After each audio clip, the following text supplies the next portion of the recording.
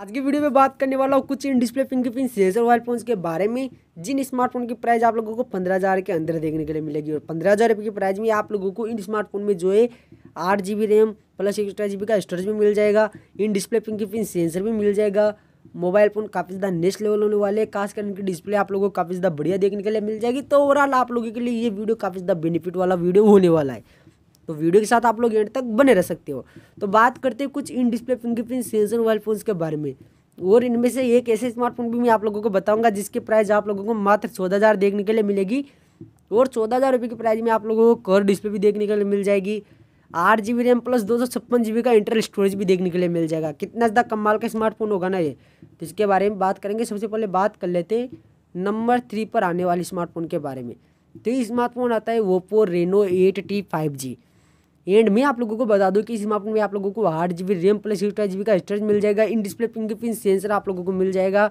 ये मूल्य डिस्प्ले मिल जाएगी। एक सौ बीस की रिफ्रेश रेट देखने के लिए मिल जाएगी। एक सौ आठ मेगा पिक्सल प्लस दो मेगा पिक्सल प्लस दो मेगा पिक्सल का ट्रिपल रेड कैमरा सेटअप बत्तीस मेगा पिक्सल का फ्रंट कैमरा सेटअप मिल जाएगा।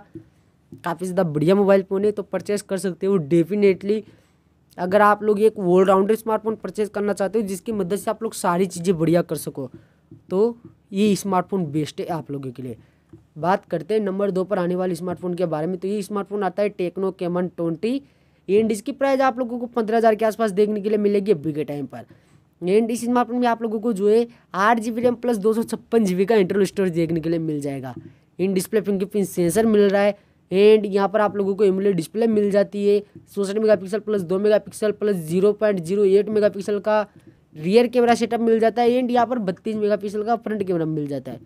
काफ़ी बढ़िया मोबाइल फ़ोन है। अगर आप लोग जो है कोई कैमरे के हिसाब से मोबाइल फ़ोन परचेज करना चाहते हो या फिर डिस्प्ले के हिसाब से काफ़ी ज़्यादा बढ़िया मोबाइल फ़ोन परचेज करना चाहते हो तो इस स्मार्टफ़ोन को परचेज कर सकते हो। बेस्ट ऑप्शन होगा आप लोगों के लिए। बात करते हैं नंबर वन पर आने वाली एक ऐसे स्मार्टफ़ोन के बारे में, जहाँ पर आप लोगों को कर डिस्प्ले देखने के लिए मिलती है। एंड डेफिनेटली मैं इसके ऊपर एक वीडियो फुल डेडिकेटेड वीडियो बना चुका हूँ। एंड ये मोबाइल फ़ोन मुझे काफ़ी ज़्यादा पसंद आया इस स्मार्टफ़ोन का नाम है itel S twenty three plus और मैं आप लोगों को बता दूँ कि स्मार्टफ़ोन में आप लोगों को आठ जी बी रैम प्लस बारह जी बी रैम भी देखने के लिए मिल जाएगी। आठ जी बी रैम प्लस दो सौ छप्पन जी बी का इंटरनल स्टोरेज देखने के लिए मिलता है। एंड इसी के साथ आप लोगों को एमुलेट डिस्प्ले देखने के लिए मिल जाती है। पचास मेगा पिक्सल का ड्यूल प्राइमरी कैमरा मिल जाता है और बत्तीस मेगा पिक्सल का फ्रंट कैमरा मिल जाता है।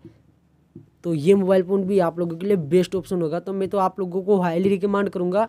कि आप लोग इन तीनों में से कोई सा भी स्मार्टफ़ोन परचेज कर सकते हो। तो डेफिनेटली यस ये मोबाइल फ़ोन में आप लोगों को इन डिस्प्ले फिंगरप्रिंट सेंसर भी मिल जाएगा। तो सारे के सारे मोबाइल फ़ोन काफ़ी ज़्यादा बढ़िया है। तो इन तीनों स्मार्टफ़ोन के लिंक आपको नीचे डिस्क्रिप्शन में मिल जाएँगे तो जा सकते हो परचेज कर सकते हो। एंड वीडियो कैसा लगा कमेंट करके मुझे बता सकते हो। मिलते हैं हमारे वीडियो में तब तक के लिए बाय बाय नमस्कार, जय हिंद, जय भारत।